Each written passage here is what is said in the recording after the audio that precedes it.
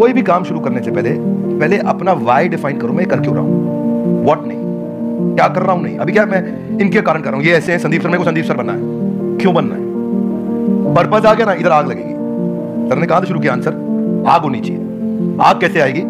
कारण चाहिए पहले। क्यों कर रहा है भाई?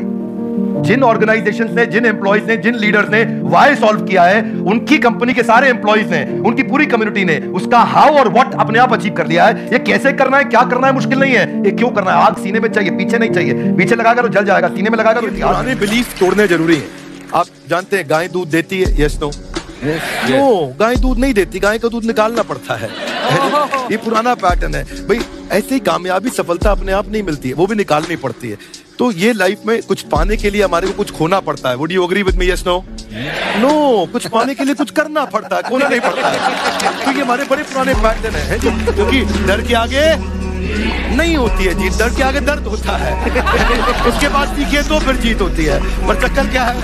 हमारे पुराने पैटर्न बड़े सारे बने हुए हैं। और वही पुराने पैटर्न के चक्कर में कि जितनी चादर उतना पैर पसारो। क्यों पसारो? डबल बेड की चादर लाओ, नई चादर लाओ, पैर बाहर निखा लो, आगे बढ़ो। तो we got to break those patterns आगे निकलिए बेटर बिलीफ डेवलप करिए, आसपास अच्छे लोगों की संगत रखिए पैटर्न्स को बदलेंगे, चीज़ें बदलेंगे। जानते हैं उस लड़की को अरुणिमा सिन्हा?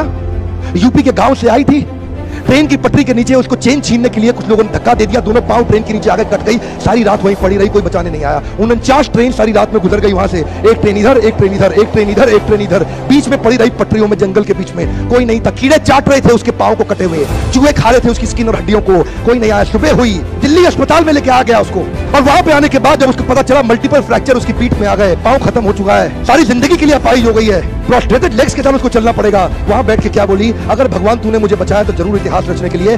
अब मैं एवरेस्ट क्लाइंबर बनूँगी। बछेंद्रिय पाल के पास गई। बछेंद्रिय पाल ने क्या कहा? तूने ऐसी अवस्था में एवरेस्ट क्लाइंब करने के लिए सोच लिया? तू तो एवरेस्ट क्लाइंब कर चुकी है। अब तो दुनिया का तारीख पता लगना बाकी रह गया है। और जानते हैं एक एक करके, न केवल उसने माउंट एवरेस्ट बल्कि सातों पीक दुनिया की पार कर ली। आज एनडीए गवर्नमेंट में उसको पद्मश्री अवार्ड मिला है, साहब। आदमी विकलांग, शरीर से नहीं होता है, मन से होता है। अगर मन से विकलांग हो गया तो हमेशा के लिए विकलांग हो गया।